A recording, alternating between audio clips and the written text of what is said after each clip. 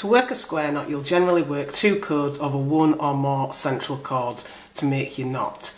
I typically work one cord at either side over two cords in the centre, but depending on what you are making or the pattern you are following, you might only have one cord in the centre or you could have more than two. But for this demonstration, I will be using two in the centre and one at either side.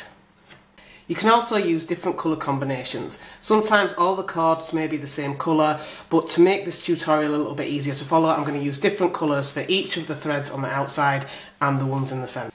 To begin, you'll have your cord or cords in the centre and you'll have a cord on either side. So this is the holding cord which you will be knotting over and these are the working cords which you will be knotting with.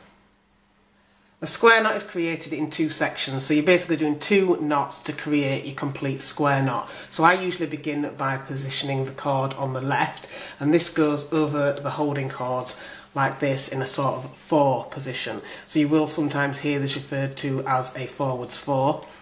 And then you'll take the cord on the right, and this one should go over the top of the cord that you've just positioned.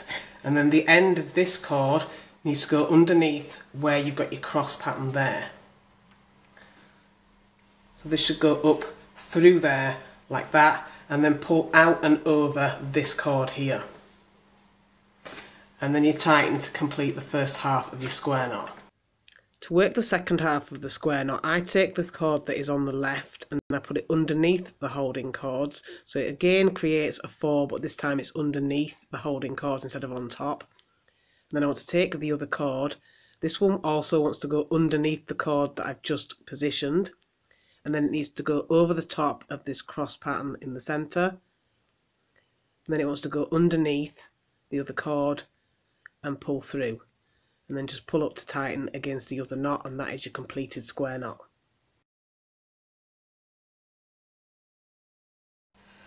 But if you prefer, you can work it the opposite way around. So you can take this cord and do the first part as I did the first part by taking this cord in a four position, this one over the top of this one, and then working underneath the cross and pulling through.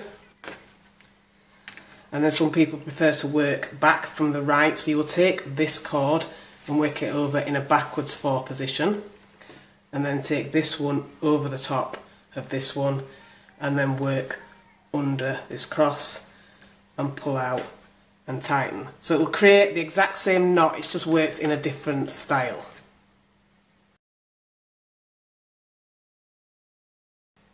So the thing you want to remember when you're doing your square knot is whichever cord you work over the top of the holding cords is the one that is going to show up in the centre. So this is particularly relevant when you're doing two different colours. Obviously it doesn't really matter when you're doing the same colour cords, but if you're doing different colours you'll see that this one that I've got pink on the left is the one that runs down the centre and the yellow is at either side.